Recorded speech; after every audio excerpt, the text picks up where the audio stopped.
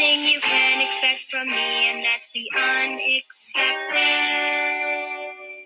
Cause I'm an international super. Super spy!